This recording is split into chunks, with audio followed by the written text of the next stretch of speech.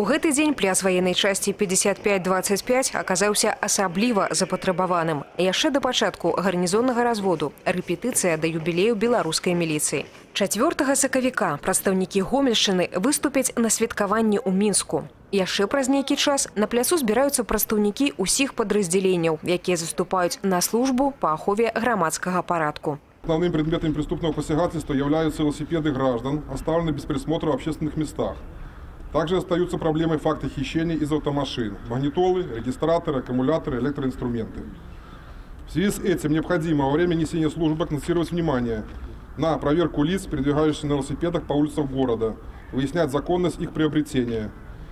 Работникам ГАИ при проверке автотранспорта, особенно в ночное время, обращать внимание на перевозимое имущество. Інструктажы перад выхадам на службу ў падраздзяленнях праводзяцца штодзень. Гарнізонныя разводы больш рэдкія. Іх перыядычнасць адзін раз у квартал. Унутраныя войскі, патрульна-паставая служба, дзяржаўтаінспекцыя, атрад міліцыі асобага прызначэння. Зараз яны на адным пляцу. Праверка службовых пасведчанняў і кніжак, рацый і спецсродкаў, формы адзення, ведання нарматыўных дакументаў, плюс показальные выступления. Оборона от погрозы пистолетом, уход з линии огню, выбивание зброі і затрыманне праціўніка. Падрыхтаванаму супрацоўніку на гэта неабходна некалькі секунд. На справе гэтае практыкаванне прымяняецца нечаста, але гатовым трэба быць заўсёды. Редко случаются такие ситуации, когда э, нам приходится пользоваться данным приемом.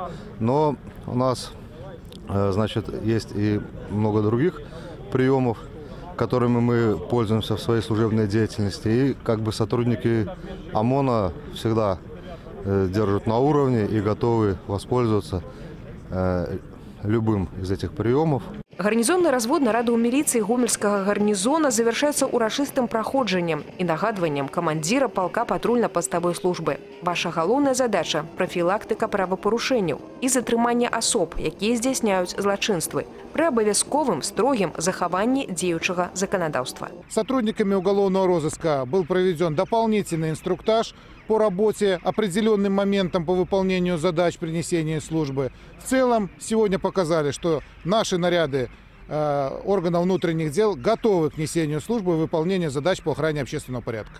Олег Сунцюров, Ольга Коновалова, Валерий Гапанько, телерадиокомпания «Гомель».